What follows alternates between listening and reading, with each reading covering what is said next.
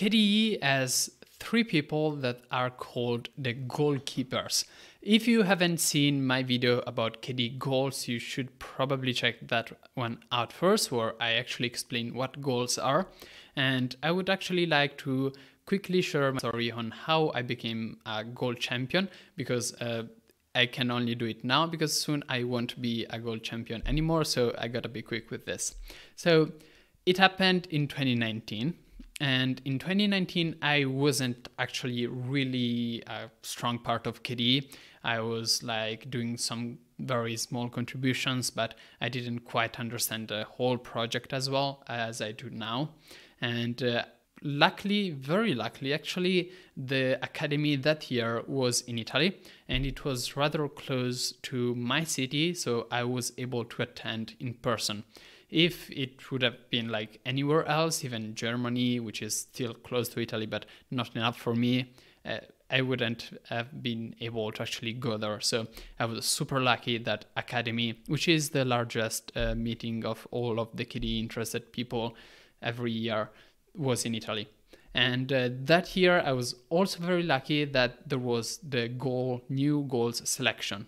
We had three old goals, which are were um, privacy, onboarding of people, and the third one was usability and um, productivity, usability and productivity. Sorry, I, I, forgot about the second term. And uh, they reached their natural end, and so we had to actually do new ones.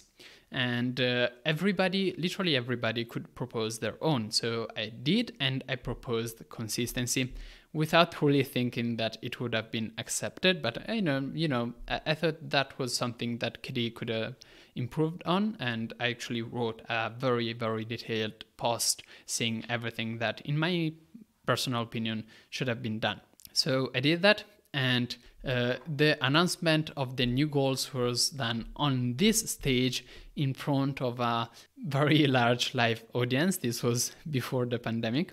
And uh, when Lydia, which is our actually announced the goals, she also asked the people that proposed the goal to stand up and talk about in front of everyone talk about that those goals. And so i, I was kind of anxious because uh, i mean I, I, didn't go there thinking that I, I, would have to talk to everybody. But anyway I, got there and you can see you can see me in this picture with my beautiful whoever took this picture.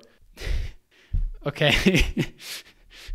I, I did have the python t-shirt which is pretty cool but my i wasn't dressed uh, appropriately for the event. Even my uh, pants were like uh, not the one that i would have chosen if i knew i was going to stand in front of everybody but it went very um, really well anyway. So i just had to say yeah yeah we're going to do something. Thanks everybody. I'm I'm going to require some help. That's what I said in very short. You can actually get um, the video of that talk from YouTube if you want to see it.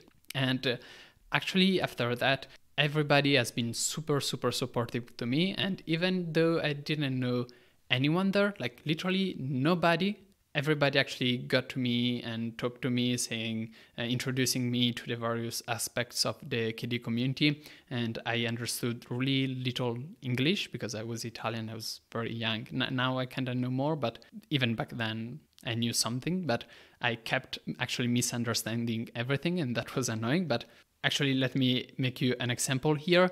Uh, there's this uh, at a certain point lydia actually came to me and said that the day after we were going to do breakfast to talk about the goals. And I was like, okay, breakfast, okay, where, when?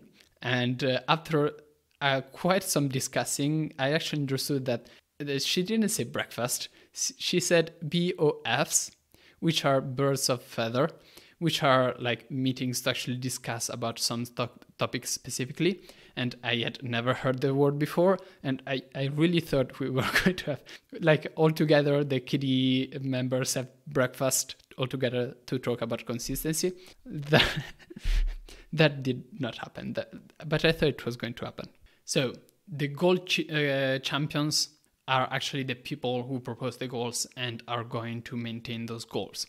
I was selected back then as the consistency. I mean, I wasn't selected. I actually proposed the goal, and the goal was selected. Selected, thus making me a goal champion. The second one was about uh, Wayland, but the the person that actually proposed the Wayland goal never actually showed up. Uh, it was it was they were uh, a newcomer too, so they didn't stand up, and actually somebody else got assigned to the goal. So the goal champion for Wayland is Méven, Méven, Méven. And then the apps goal was actually proposed by Joe Riddell, Jonathan, Jonathan Riddell. But later on, he actually stepped back and Aleix Pol uh, took his place. So these three people are currently the goal champions. And the cool thing is that you, you can become a goal champion too, because at uh, the next Akademy, there will be a new selections of goals and everybody again can propose them.